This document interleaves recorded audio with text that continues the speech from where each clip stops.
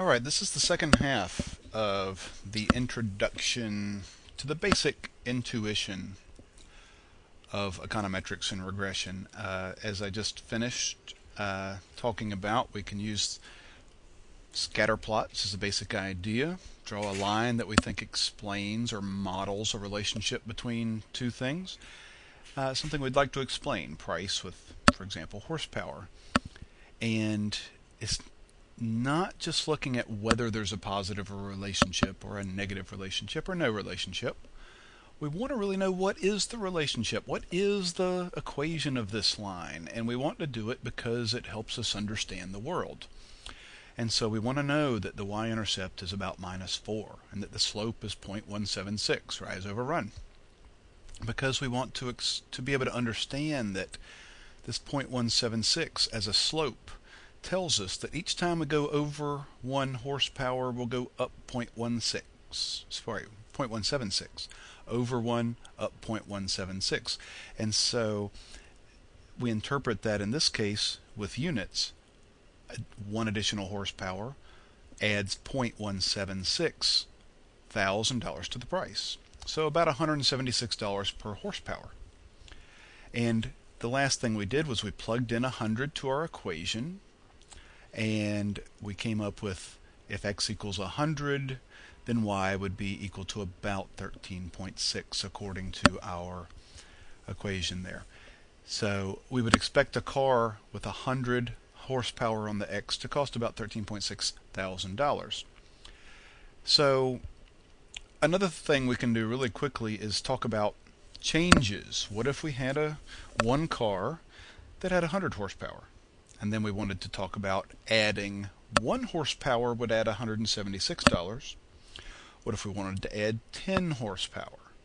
Well, that'll add 10 times $176 or $1,760. Or we could add 100 horsepower. Well, that should take us from a price of 13,600 up 100 times that, 17,600 up to about this level. It looks like it's a little above 30,000. So these are the things we can do with this. Now let's criticize what we've just done. A couple of criticisms would be number one, well, why would you just try to explain the price of a car with horsepower? Aren't there a lot of other variables we should look at? Of course, yes. And uh, this is something that we will learn in this course that you can't just pick one variable at random. You have to include all the variables that you think are important in predicting something.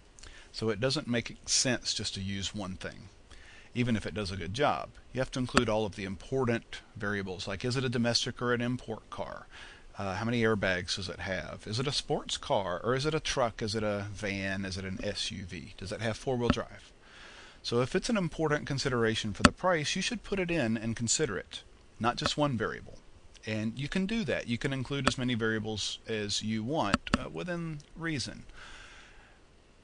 Now, another criticism might be if you look at our line, it seems to fit the data very well for low horsepower vehicles.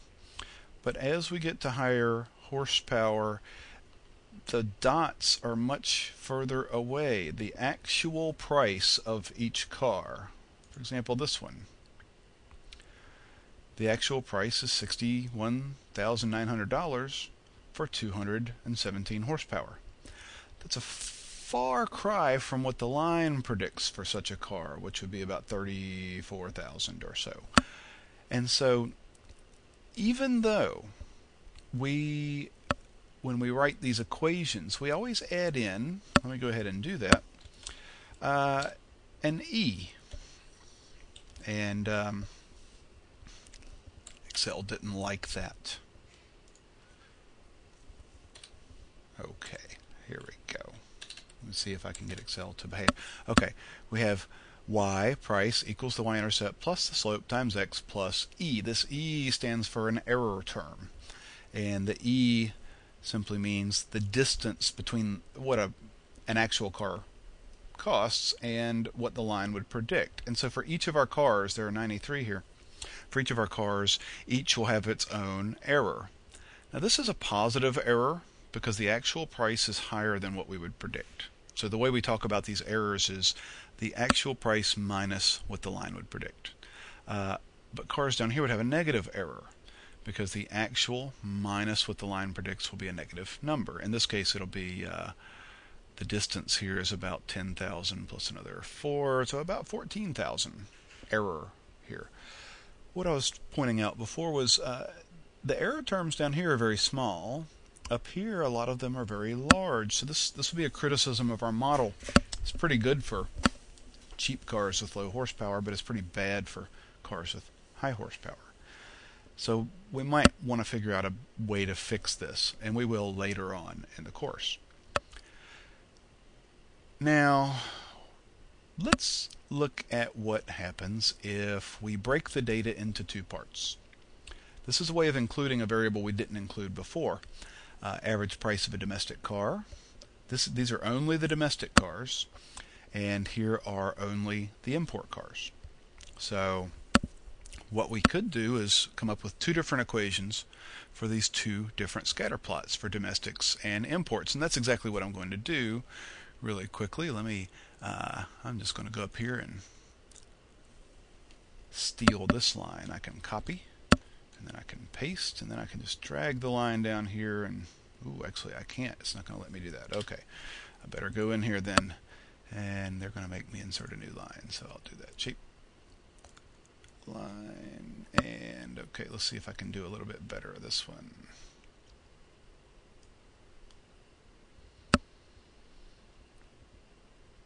alright that's not bad so uh, to me, this one looks like uh, the y-intercept might be about zero.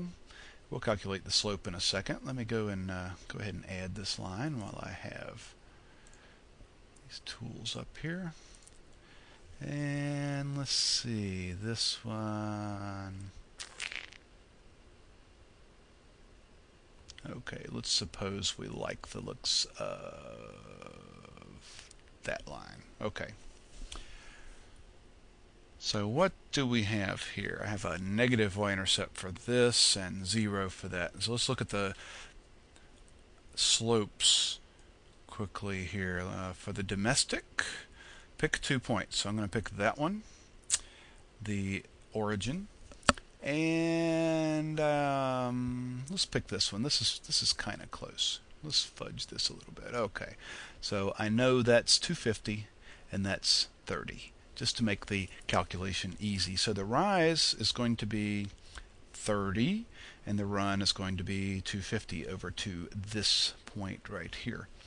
So the uh, 30 divided by 250 equals 30 over 250. That's going to be a slope of about 0.12 and the y-intercept is 0. So our equation would be y equals 0 plus 0.12 times horsepower to get our price in thousands. Now let's look at the imports and see what we get. Let's call that uh, about minus 4 or minus 5. Let's see, let me just cheat a little bit again to make the uh, calculations simple. And let's call that minus 5. And I'm going to pick this point right here because it goes through a crosshairs. And it's easy to see that that is um, 40 and 250 for the horsepower. So um, our equation is going to be, uh, our slope will be equals, that's 5 plus 40 is 45 divided by 250 for the slope, 0.18. So our equation here will be y equals negative 5 plus 0.18 times horsepower. And so we come up with two different equations based on whether it's a domestic car or whether it's an import car. And in the next part of this series, part C of this lecture, we'll talk about the difference and I'll uh, show you how to combine these two equations into one large equation that explains the prices of all cars.